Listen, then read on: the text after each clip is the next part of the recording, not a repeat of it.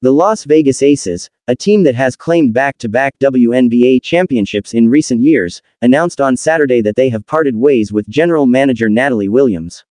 The decision not to renew Williams's contract is part of a larger restructuring effort within the team's front office.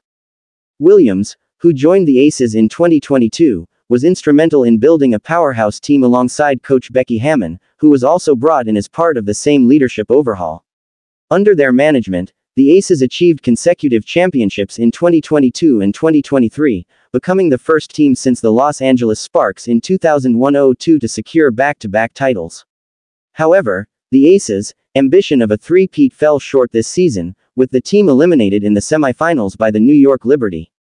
In a statement, Aces president Nikki Fargas expressed gratitude for Williams's role in the team's recent success, highlighting her long-standing connection with the league dating back to her playing days with the Utah Starzz. Her time with the organization extends back to the league's formative years in Utah, and she will forever be a part of our history, having left an indelible mark as both a player and an executive, Fargas said. We wish the best for Natalie and her family. Williams, a four-time All-Star during her seven-year WNBA playing career with the Utah Starzz and Indiana Fever, is recognized as one of the league's early stars. She also played for the U.S. women's basketball team, earning a gold medal at the 2000 Sydney Olympics. Her athletic prowess extended beyond basketball, as she was a two-sport star at UCLA, excelling in both basketball and volleyball.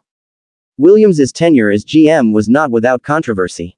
In August, Former Aces player Dearica Hamby filed a federal lawsuit against the team, alleging discrimination and retaliation due to her pregnancy, which eventually led to her trade to the Los Angeles Sparks. Hamby's lawsuit, which accuses the Aces of retaliating against her for starting a family, coincides with a league-directed investigation into whether the Aces violated salary cap regulations. Coach Hammon, for her part, defended the trade as a strategic move to make room for star player Candace Parker.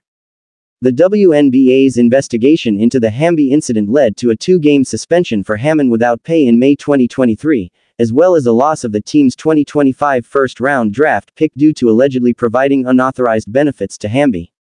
Additionally, concerns of salary cap circumvention resurfaced when the Las Vegas Convention and Visitors Authority offered $100,000 annual sponsorships to players, a move that could potentially give the Aces a financial edge.